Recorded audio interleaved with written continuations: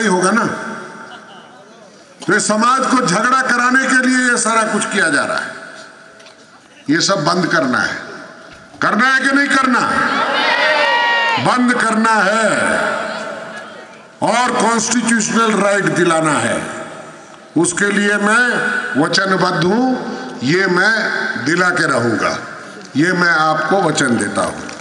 यही कहकर एकदमै हल्का छायाका व्यक्तिहरू हामी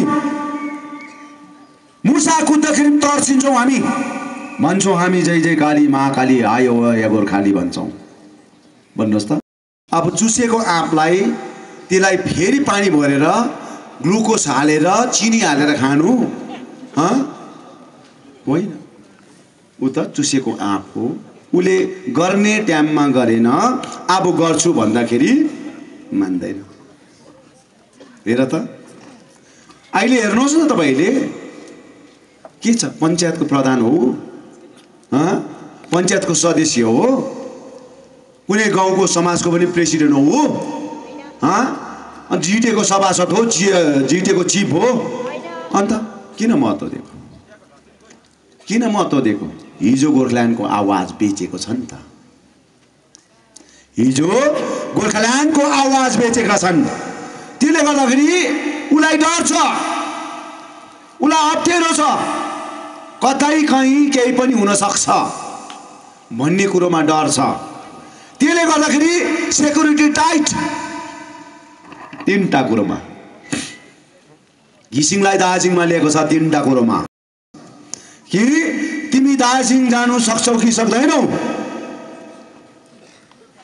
दार्जिलिङ जानु सक्दैनौ भने म यहाँ भएका सेक्युरिटी म हटाउँछु।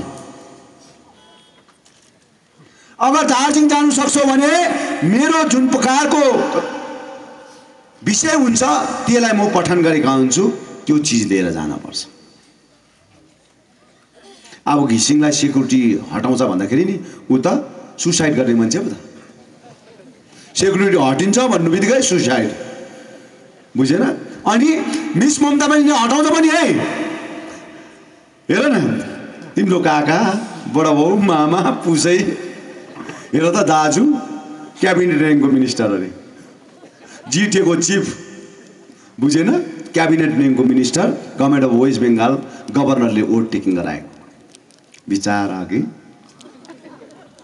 ओट टेकिङ गराएको बिजेपीलाई सपोर्ट गर्नु बित्तिकै विमल सेक्युरिटी हटायो गेट आउट नो एलाउ अरे। अलिअलि इङ्ग्लिस लगाइदिएको है। बुझेन? एलाउ दिए। दिलमा ममता छैन। हो कि? अचम्म लाग्यो। भन्यो होला घिसिङलाई पनि। उसले जान्दैनौ तिम्रो सेक्युरिटी हटाउ हटाउँछौ। अनि घिसिङ अहिले चाहिँ मुसा कुद्दम तर्सिने भएको छ। बुझ्यो? त्यसले गर्दा उसलाई सेक्युरिटी बिना बाँच्न सक्दैन घिसिङ। बिना सेक्युरिटी घिसिङ बाँच्नु सक्दैन।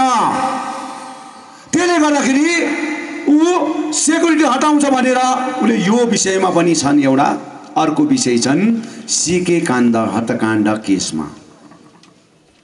सिके प्रधान हत्याकाण्ड केस। किनभने सिके हत्याकाण्ड केसमा मेन मास्टरमाइन्ड सुभाष घिसिङ। मान्नुहोस्। काम गराउनु लाउनु काम गराउनु लाउने केटाहरूलाई छिरिङ शेर्पा केन सुब्बा। मान्नुहोस् है यो प्लानिङ पुरा।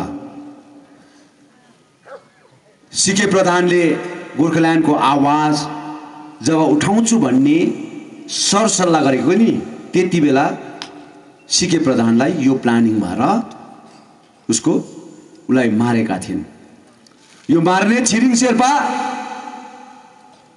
मार्ने केटा निरे देवान निरे देवान बुझ्यो? सिन्जीको। सोध्नुहोस् ऊ बाँच्नुको लागि मिस ममता ब्यानर्जीले यस्ता चिजहरू हेर्छन्। सलिड चिज हेर्दैन।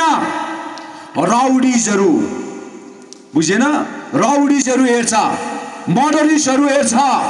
यस्तोलाई युटिलाइज गरेर तपाईँले देख्नुहुन्न पञ्चायत इलेक्सनमा? पञ्चायत इलेक्सनमा तिन धारे मान्छे मारेर आज पञ्चायत आज हतलिएको छ।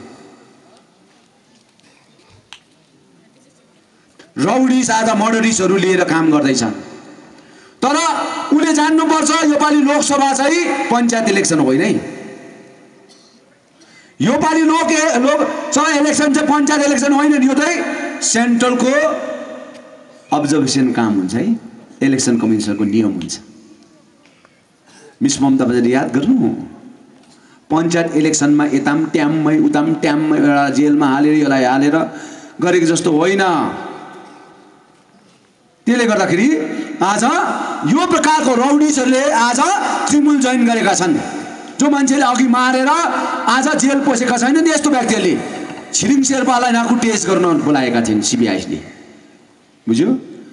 अनि त्यसरी यहाँ बोलाउँदाखेरि छिरिङ शेर्पाले घिसिङलाई सोधेका थिइन् कि मलाई सिबिआईले बोलाउँदैछ।